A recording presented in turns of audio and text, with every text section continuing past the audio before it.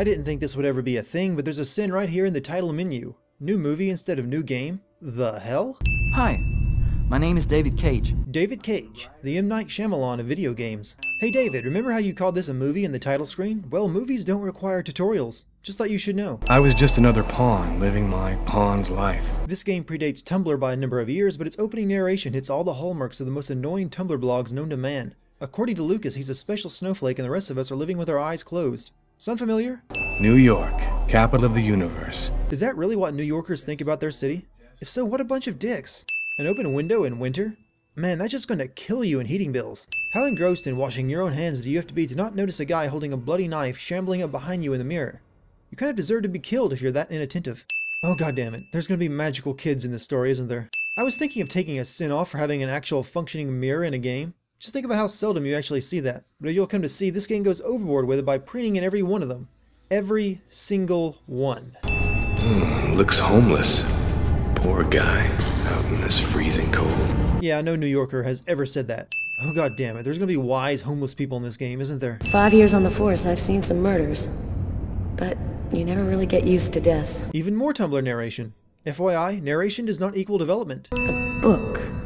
The Tempest by Shakespeare. If this is his, it's a pretty weird book for a killer to be reading. No, not really. By this point, it's script writing 101 that if you want your killer to be taken seriously, he has to read classical literature and quote it whenever possible. Also, that's one sin for having a book in the story that tells a parallel plot. Payphones. Of course, payphones are only a sin to you if you're under the age of 18. Older viewers are probably wondering why I would send something like that. A unisex restroom in a New York City flytrap diner? Yeah, you aren't getting any customers. See previous mirror printing sin. If you're losing that much blood from your slash wrist, you probably aren't waking up in the morning. Just saying. Even though Lucas is earning IT administrator money, an apartment this size in New York is going to cost tens of thousands of dollars a month. Another open window in New York during the winter? And Lucas doesn't even complain about the chill. Well, you have a washer, but I don't see a dryer. Mirror jump scare. Lucas uses the worst web browser known to man. There's no address bar and he can only access his email inbox and a news website that only covers video game violence stories, the weather, and world news, which just so happens to be the only topics relevant to the things happening in this game. Lucas turns on the television and the first thing on screen is a news story on the murder he was forced to commit at the diner. Turn the channel and I'm certain there'll be an ad for lawyers, occult detectives, and a Catholic priest offering free exorcisms. Convenient plot reporting is convenient. Something's bothering me about this murder, but I just can't seem to put my finger on what it is. You don't know who the killer is or why he did it. I'd say that's what's bothering you about the case. You haven't seen anything out of the ordinary yet that would make you question it. Bad computer posture. See mirror printing sin. Cheesy porn music accompanied by a thrusting camera, a bearskin rug, and a lava lamp. I should probably cut this game some slack for its sex scenes. It was 2005 and sex scenes in games were still a new thing, but damn if they didn't come up with the worst way to showcase it. What's the first thing you do after having sex? If you're these two, you put your clothes back on and get back into bed. A statuette of socks, one of the characters in my favorite video game. Never mind the fact that Tyler's favorite video game is David Cage's previous work. Since Tyler doesn't have a PC or console anywhere in his apartment, I'm going to say he shouldn't have any favorite video game. See mirror preening sin. Please don't start. I got no intention of dying today. Said everyone who ever died with no intention of dying. Is it racist that they play this kind of music for Tyler's theme song? I'm going to say it's racist. There are QuickTime events, and then there's this. It's like trying to play a game while inputting the Konami code every 10 seconds. And go buy yourself a video game. Just not Heavy Rain or Beyond Two Souls or anything else by David Cage. See mirror preening sin. New York is really pushing gender equality these days. That's two unisex public restrooms. Does it count as a reference to The Shining if it's not spelled backwards? No one else is working in this office on a workday except for two IT techs. I'm going to go out on a limb here and say this company is going to go under pretty quickly. Giant ghost fleas. I'm actually impressed. This is so fucking stupid, I don't see how this game will ever top it. So stupid. We broke up weeks ago, I'm here to collect my things, and you've done nothing but act awkwardly around me. But you played a guitar solo that wouldn't even warrant attention on SoundCloud, so let's bone. Quick time sex scene. In God of War, it's not so bad. Here, and with the mouse move it wants you to make, well, that just feels like jerking off. And jerking off is already reality's QuickTime event. And let's keep that camera focused right on the water bottle. Perfect. What is this abomination of a built-in computer? It has what looks to be a first-generation iPod, an old floppy disk drive, and a built-in tablet. And no way is that keyboard a QWERTY configuration. Immigration? You come like my up? All paper store family is legal. That's racist. Oh, man. What am I, in a video game? Well, technically no, and also technically yes. The short end of it is that you're in a David Cage experience. Oh, yeah. That's for the customers. Ah, they love that wise old Japanese master stuff. So you were faking that accent? That's even more racist. Also, why did you keep up the Japanese act even when you thought Tyler was from immigration and there to bust you? That seems like the more appropriate time to come clean. I'm more American than you are, man. That's also racist. Can you tell me anything about the book? Yes, nice edition. Leather cover. Looks like one in the Shakespeare series, published by Lamarck and Everett 1884. You didn't tell him anything even remotely helpful. It says Shakespeare right on the cover, so Tyler didn't need help discovering that, and you can clearly tell it's leather bound. Tyler came all the way here to ask a rare book expert, and he could have found out all of that just by looking on Wikipedia. One need not have eyes to see. Oh god damn it, there's gonna be wise blind women in this game, isn't there? When I regained control of myself after the murder, this symbol had been cut into my wrist with a knife. A snake. Considering that Lucas's wrists are bandaged from the cuts, Agatha shouldn't be able to feel the outline clearly enough to know what they depict. As I told thee before, I am subject to a tyrant, a sorcerer, that by his cunning hath cheated me of the island. What did you say? It's a passage from Shakespeare's Tempest. Evil quote Shakespeare cliche. A shame so few people read Shakespeare these days. Except for every high school student, drama class student, and aspiring stage actor. Hell, that's not even a valid complaint even if it were true. Shakespeare wrote scripts, not novels. That's a pretty good reason as to why people wouldn't like to sit down and read them since they were never intended to be read in that fashion. I'm not going to say it was stupid for this white guy to bet $200 against a black guy in a game of basketball. I'm going to say it's stupid for holding a game of basketball in minus 12 degrees Celsius while wearing only jerseys. I'm the first to admit I'm a simple man, so yeah, this gets a sin struck from the record. No way does a New York City police detective have a salary that can afford an apartment this large. Ugh, see mirror preening. Who the hell keeps nothing but four quarts of milk in their fridge?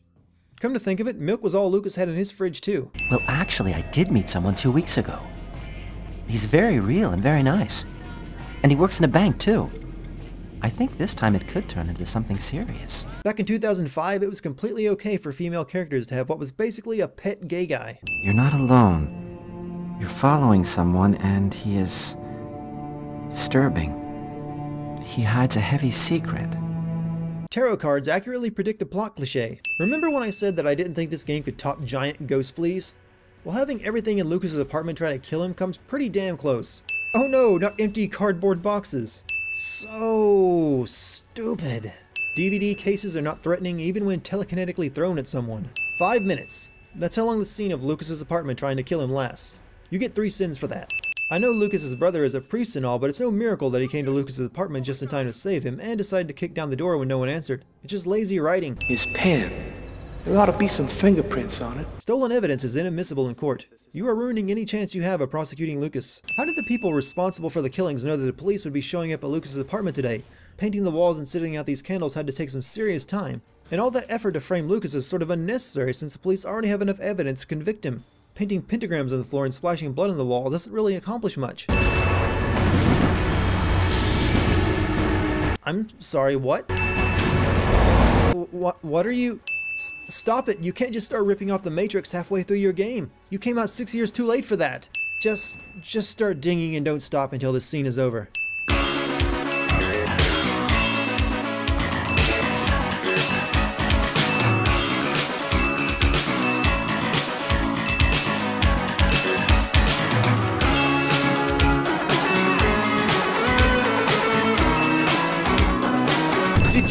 That guy just did? You didn't raise your eyebrows even a tenth as much as I did when watching this scene. I hope there's a good explanation for all this. Best I can do for you is that Quantic Dream was working on two different games and they decided to combine them into one. Just what are you trying to tell me here? That this guy is Superman? That's your excuse? Well, it does make for the worst superhero origin story in recent memory. And you seriously expect me to buy that crap? There were multiple witnesses to Lucas dodging bullets and jumping over overpasses. This should not even be up for debate. When the press finds out that Kane slipped through our fingers, they're gonna make me a laughingstock, and the mayor's gonna come looking for my head. David Cage apparently thinks 80s stereotype police chiefs are still totally doable. Is he going to threaten to have their badges next? Maybe bust them down the traffic cops?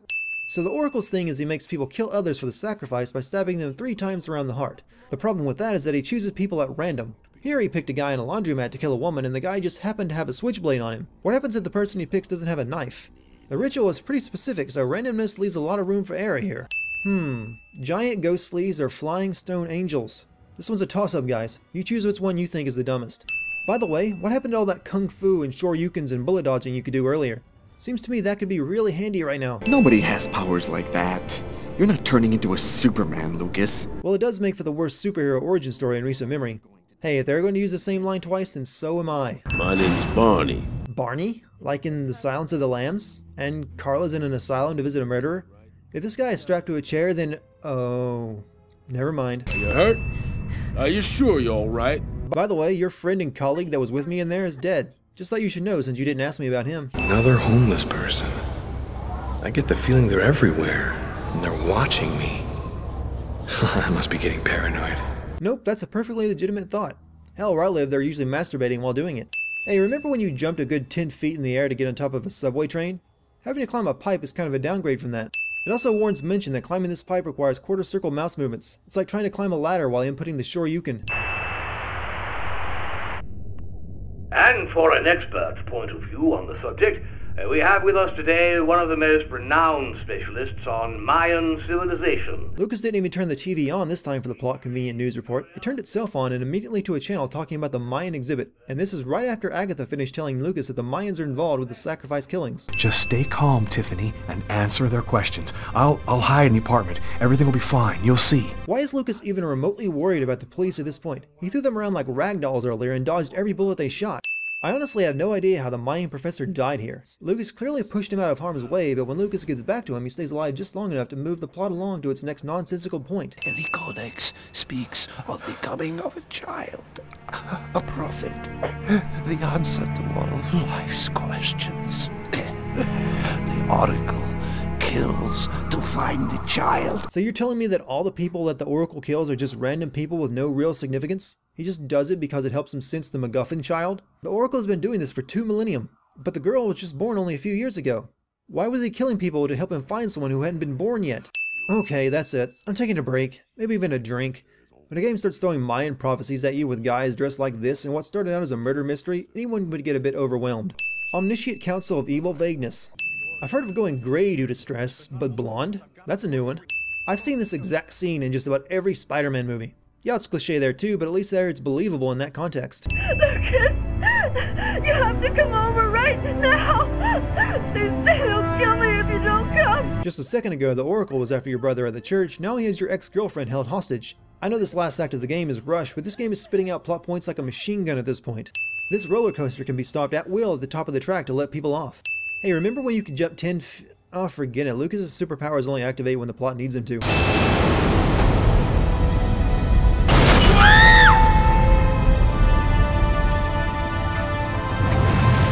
God. Lucas is dead and this game is over. Oh, god damn it, Deus Ex Machina. Hey, Lucas's hair color is back to normal. I hear your thoughts. I know that this case has disturbed you enough to make you listen to what I have to say. This is the first time you've met with her. How would you have any idea what she's been thinking? What are you doing here, babe? There's a train leaving in one hour for Florida. It'll probably be the last one for a long time. I'll be on it, Tyler. With or without you. What do you do when it's the endgame of your story and the comic relief character is still alive? You put him on a bus, never to be seen again. Uh. Looks like I'm gonna need Guile's theme again.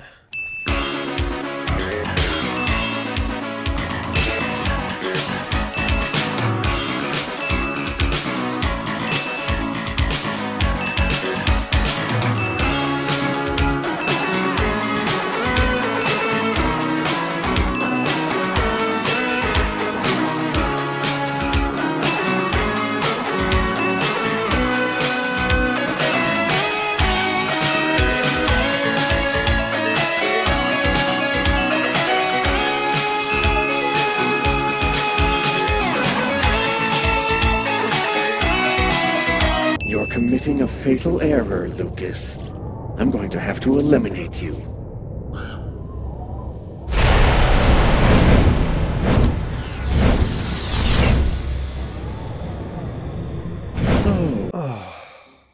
There are AIs after the Indigo Child now. I'm gonna need another drink. We're the Invisibles. Since the dawn of time, we've been secretly observing the clans. The entire last half of this game has been nothing but one long info dump after another. Characters have been just showing up left and right, explaining their purpose and connections, then stepping aside for the next character. Now even the hobos are a secret society that have been watching everyone since the beginning and only now want to help. What was stopping them from keeping Lucas from killing the man in the diner, or saving Agatha, or Lucas's girlfriend? They were there for all of those events. The child will have the answer to all questions. And the one who hears her message will have access to infinite power. I like this plot a lot better when it was in Hitchhiker's Guide to the Galaxy. Right now, Lucas is technically dead. Even Carla said his skin is like ice, but that's not enough to stop her from boning a guy she's only known for one day and has spent the past week chasing for Murder 1. I know it's the end of the world of all, and hey, whatever gets you there, I say. But damn girl, show some standards. And the same goes for Lucas. Your girlfriend was just murdered a day ago. You literally started this relationship with Carla on top of her grave. Despite the fact that it's been repeatedly stated that the temperature is well below freezing and the fact that everyone around is rugged up in numerous layers, Lucas and Carla strip down to their bare skin and have sex in their unfurnished, unheated boxcar. Where the hell did you get that? You were hiding with an order of hobos who lived in an old subway car an hour ago. You telling me they had an Arctic Cat ATV on hand? Ugh. You know the drill.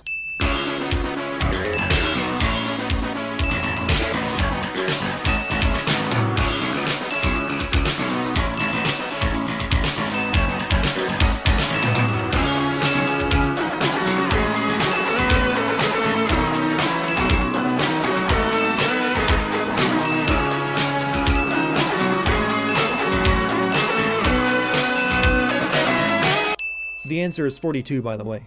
This was supposed to be the good ending, but then you realize that Lucas is still wanted for murder, Carla is not only dating him, but is pregnant with his kid, and there is no way to clear Lucas's name. That means that our child was radiated by the chroma at Wishida. Bullshit. You had sex just hours before Carla arrived at the base where the chroma well was. An egg doesn't turn into a fetus that quickly. Plus there's the fact that you're dead. I'm still trying to wrap my head around that one.